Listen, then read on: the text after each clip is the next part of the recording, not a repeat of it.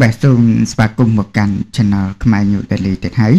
បាទសំលេចនៅអត្ថបទដកស្រង់ខ្លីៗមួយចំនួនមកជម្រាបជូនដល់ប្រិមិត្តអ្នកស្ដាប់ដែលអត្ថបទទី1មនុស្សជាង100នាក់ត្រូវបានចាប់ឃាត់ខ្លួនក្រៅសមត្ថកិច្ចនគរបាលឆ្មក់បង្ក្រាបទីតាំងក្លឹបយេហោជីតេនៅខណ្ឌចំការមនបាទប្រិមិត្តនេះគឺតើតើនឹងករណីចោះបង្ក្រាបក្លឹបកំសាន្ត ដែលសង្ស័យពាក់ព័ន្ធនឹងការ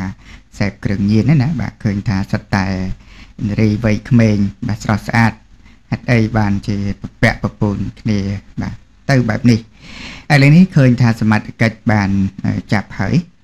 បាទតើយ៉ាងណាចឹងប្រិមិត្តយើងមកតាមដានលំអិតដូចតទៅភ្នំពេញកាលពីវេលាម៉ោង1យប់តម្រងអាទិត្យឈានចូលថ្ងៃទី10ខែសីហាឆ្នាំ2024អញ្ញាធមមេសមត្ថកិច្ចនគរបាលរាជធានីភ្នំពេញដឹកនាំដោយ លោកឧត្តមសេនីយ៍ឯកជួននរិនអគ្គស្នងការរងនិងជាស្នងការនគរបាលរាជធានីភ្នំពេញបានឆ្មក់ជាប់បង្ក្រាបទីតាំងក្លឹបកំសាន្តមួយកន្លែងជាហៅជីតេបានខត់ខ្លួនមនុស្សជាង100នាក់មន្ត្រីសមត្ថកិច្ចជំនាញបានដឹងថាប្រតិបត្តិការនេះធ្វើឡើងដោយអនុវត្តតាមបទបញ្ជាឯកឧត្តមអភិសន្តិបណ្ឌិតសសុខាឧបនាយករដ្ឋមន្ត្រីរដ្ឋមន្ត្រីក្រសួងមហាផ្ទៃដែលបានដាក់បទបញ្ជាឲ្យស្នងការនៃស្នងការដ្ឋាននគរបាលរាជធានីខេត្តបន្តយកចិត្តទុកដាក់បោះសម្អាតបញ្ហាគ្រឿងញៀន ការជួញដូរមនុស្សនៅតាមទីកន្លែងក្លឹបកំសាន្តការ៉ាអូខេដោយទុករយៈពេល1សប្តាហ៍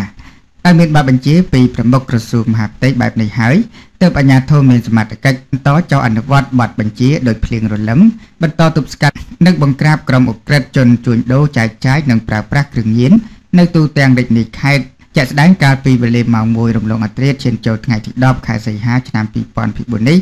លោកឧត្តមស្នេហ៍ឯកជួននរិន បានដឹកនាំសមត្ថកិច្ចជំនាញពាក់ព័ន្ធចុះបង្ក្រាបទីតាំងក្លឹបកំសាន្តយេហៅជីតេស្ថិតនៅសង្កាត់ទលេបាសាខណ្ឌចំការមូលរាជធានីភ្នំពេញ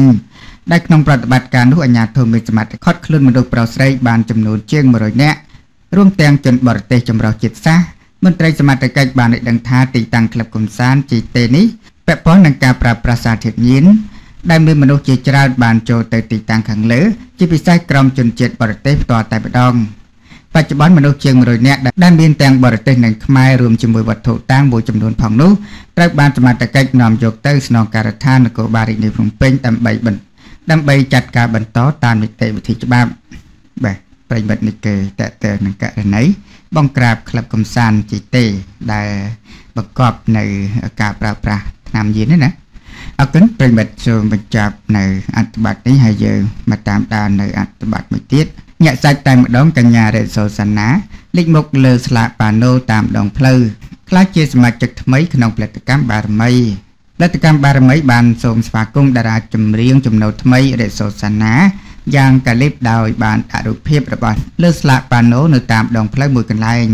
សម្បីតែ cover នៅក្នុង page ក៏បានបដូរមកដាក់រូបភាពរបស់តារាចម្រៀងរ៉េបសូសាណាផងដែរ ទាំងនេះធ្វើឲ្យអ្នកគ្រប់គ្រងតារាចម្រៀងរ៉េសូសាណារំភើបខ្លាំងហើយរំពឹងថាអាចដល់ខ្លួននឹងមានស្នាដៃថ្មីប្លែកនៅក្នុងផលិតកម្មមួយនេះ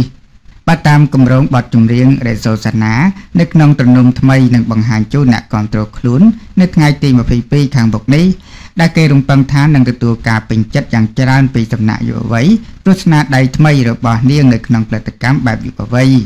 អ្វីជាការកត់សម្គាល់ក្រៅចាក់ចេញពីទំនុំចាស់ ដែលបានរួមការងារប្រមាណជា8ឆ្នាំរេសូសាណាក៏បានអរគុណដល់ផលិតកម្មរស្មីហងមាសដែលបានផ្ដល់បទពិសោធន៍ក៏ដូចជាអនុស្សាវរីយ៍ល្អៗសម្រាប់នាងនាពេលកន្លងមកនៅក្នុងនោះដែរដែលជំនាញវ័យក្មេងរូបនេះក៏បានរៀបរាប់ថាមុននឹងក្លាយជាសមាជិកនៅក្នុងទំនុំថ្មីបារមីនឹងបានចំណាយក្នុងការអភិវឌ្ឍខ្លួនឯងនឹងបានរៀបចំនិពន្ធក៏ដូចជាសរសេរបទចម្រៀងដោយខ្លួនឯងនឹងបានសិក្សានិងកែតម្រូវនៅរឿងរ៉ាវមួយចំនួនទៀត ចំណុចទាំងនេះហើយទៅបានជាតារាចម្រៀងរូបស្រស់ម្នាក់នេះបានពោលទាំងមានជំនឿចិត្តថាមិនឲ្យអ្នកគ្រប់គ្រងរបស់ខ្លួនខកចិត្តនោះឡើយដោយសារតែសមត្ថភាពនិងទេពកោសល្យមួយចំនួនរបស់តារាសម្ដែងរបស់តារាស្រីវ័យក្មេងយុគនេះទៅផលិតកម្មបារមីមិនខ្លាចនឹងស្វាគមន៍តារាចម្រៀងរ៉េសូសាណាយ៉ាងកក់ក្ដៅពលគេបានឃើញផលិតកម្មបារមី បង្ហាញរូបភាពរេសូសាណាលើផ្ទាំងប៉ាណូតាមដងផ្លូវរង្វល់មូស្តាតចាស់ដោយបានបញ្ជាក់ថាតារាស្រីវ័យក្មេងរូបនេះជាសមាជិកថ្មីក្នុងទំនុំរបស់ខ្លួនបន្ថែមពីនេះអ្នកគ្រប់គ្រងជាច្រើនថារេសូសាណានឹងមានស្នាដៃថ្មីថ្មីជាមួយនឹងតារារ៉េវ៉ាន់ដា នៅពេលដែលពួកគេរួមទំនុំជាមួយគ្នា បាទប្រិមិត្តនេះគឺតើតើនឹងការចាប់អារម្មណ៍ទៅនឹងតារាស្រីវ័យក្មេងកញ្ញារិទ្ធសុសនាឃើញថាផ្ទាំងប៉ាណូធំធំ បានលើកបាទបញ្ចាំងស្លាយដែលធ្វើឲ្យអ្នកគ្រប់គ្រងសង្ឃឹមថានឹងមានស្នាដៃថ្មីក្នុងផលិតកម្មបារមីជាមួយនឹងវណ្ណដាអរគុណប្រិមិត្តសូមបញ្ចប់នៅអត្ថបទទាំងពីរនេះ